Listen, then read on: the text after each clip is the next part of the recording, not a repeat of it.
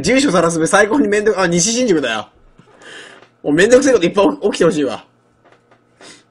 酔いたい自分に。え、そうだよ。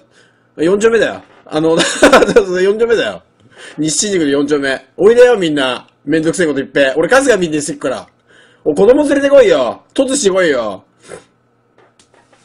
突突。俺引っ越さねえよ。俺レジディアだから引っこ、来いよ。遊びに来いよ、俺ん家に。みんなで、みんなで仲良くすべえよ。いいマンションだから。綺麗から遊びに来いよ。みんなで。遊びに来い。花束持ってこいよ。いや、もう、俺はもう、綺麗だよ。マジで、ほんとく、絶対病院もやめねえし、ニコ生もやめねえから。俺、バルでぶったたかれてもニコ生やめねえから。病院もやめねえかんな。バルでぶったたかれても。もう中央線乗ってこいよ。初台が一番近いから。西新宿5丁目が一番近いからそっから来いよ。西新宿5丁目が一番近いから。俺の最寄りだから。あそこの隣の、あそこの隣のセブンイレブンによくいるから俺。声かけてくれんな。いいマンション住んでっからよ。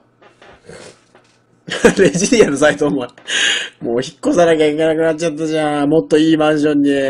夢は尽きねえな俺次恵比寿に引っ越すからよろしくね、みんな。マンションも言うよ、ちゃんと。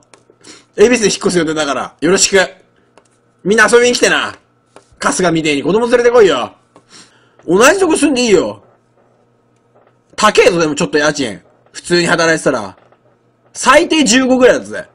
おそらく。ベルサール。バカめっちゃ近いじゃねえか、俺とお前、お隣さんじゃねえか下手すら俺の声聞こえねえじゃねえか、ベルサールってようちの前じゃねえか、ベルサールクソ近くじゃねえか、近所じゃねえか、てめえ目の前じゃねえか、ベルサールってゴミみてえなマンション住みやがってよ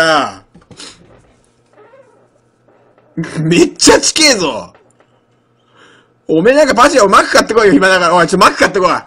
おい、ガチで。腹減ったからマック買ってきて、ベルサールのバカが。俺、あの、着いたら着いたって教えて、家の前出てくから。